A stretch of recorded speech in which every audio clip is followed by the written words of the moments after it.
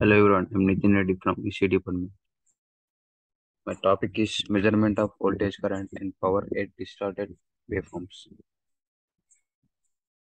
Abstract. A new wattmeter is presented for the measurement of power when the voltage and current are distorted. It uses non-simultaneous sampling of the voltage on the load and on a capacitor. As current has usually a higher distortion than voltage, this approach is less demanding for the analog to digital converters. Introduction. We are facing an increasing interest in the measurement of power under non-sinusoidal conditions.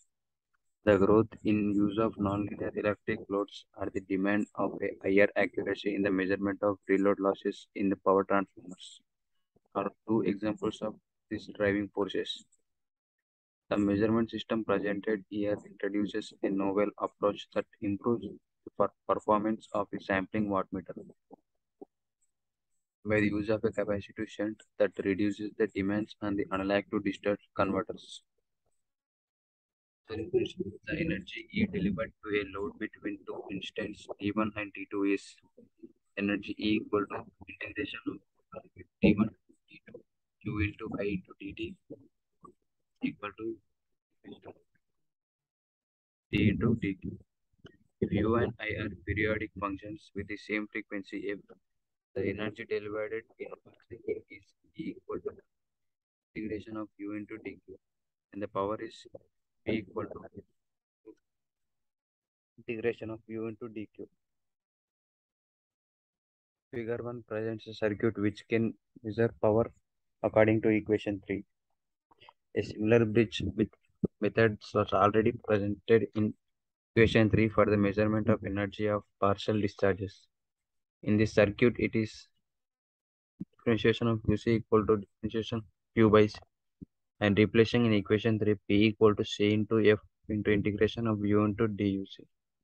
The voltages U and UC are acquired by the ADC and equation 5 is calculated numerically. Here the circuit diagram. A 600 picofarad shunt has at 58 an impedance of 5 R.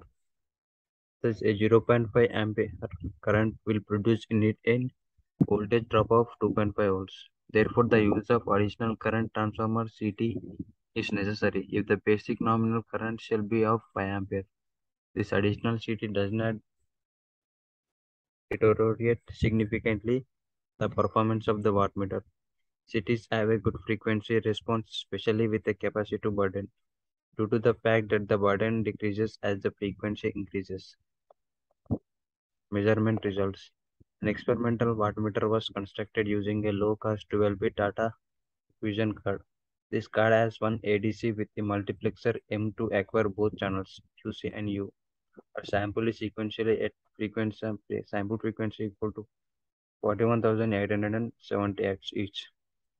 To deal with additional phase error caused by the non-simultaneous sampling of both channels, a fitting algorithm was introduced which calculates the voltage at the instant of the current sample as a function of its previous and subsequent voltage samples. The interpolation algorithm was applied to the voltage because it is typically less distorted than the current. Figure 2 shows Figure 2 shows the current and the voltage on the capacitor shunt in the sample circuit with a direct and resistive load. A smoother behavior of UC can be observed. Figure 3 depicts the, the choice pattern of U and UC. The area of the loop is proportional to the energy per cycle. Figure 2 shows I and UC are acquired on a circuit with a triac and a resistive load. Figure 3 Lissajous pattern for UC and U in a circuit with a triac and resistive load.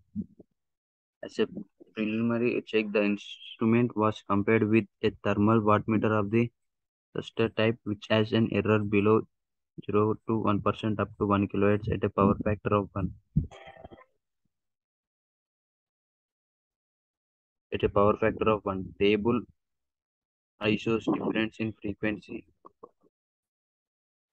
Table 1 shows differences in frequency responses between both instruments. Sampling minus thermal wattmeters related to the apparent power.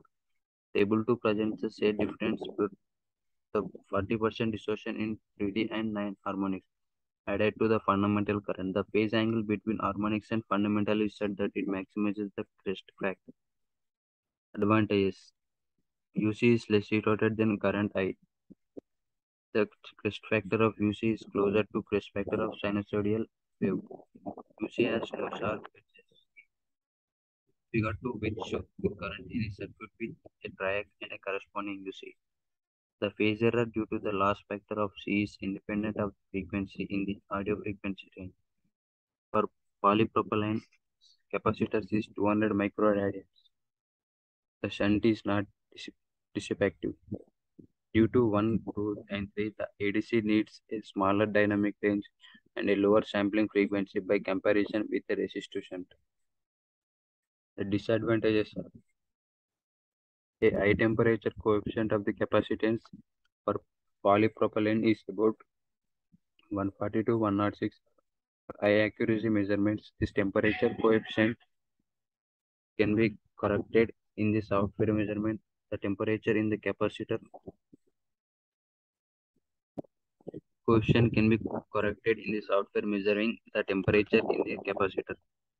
The volume of the capacitor shunt is higher than the volume of the resistor shunt for the same impedance. Conclusion This new wattmeter presents promising frequency response and linearity in the current circuit against the thermal wattmeter, encouraging new studies in order to establish a new reference for the measurement of power with highly distorted waveforms.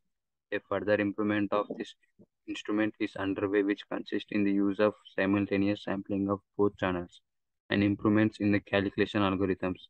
New results and the uncertainty analysis will be presented at the conference. Thank you.